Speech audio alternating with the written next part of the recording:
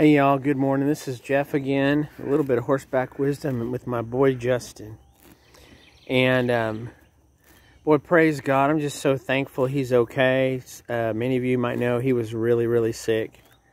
But my wife prayed for him and we anointed him with oil and we took care of him and God healed him. But I wanted to um, talk to you today about something out of Psalm 106. It says, Praise the Lord, give thanks to the Lord, for he is good his faithful love endures forever.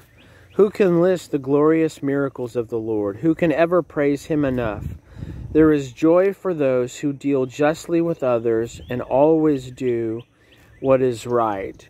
So the Lord loves to give us the things that we desire as long as they're good for us and glorify him and and one of the things he gave me was was Justin, right? He um he healed him and uh and blessed me in the process. So I just wanted to encourage you today that um you know when you're going through stuff uh read the psalms, read the worship songs of God and get your heart in a place where you can receive from him because he wants to bless you. And I just want to leave you with that today. Be blessed in the Lord. Um, there's Princess. She's blessed in the Lord. And Lola's over there being blessed in the Lord too. But here's my boy Justin.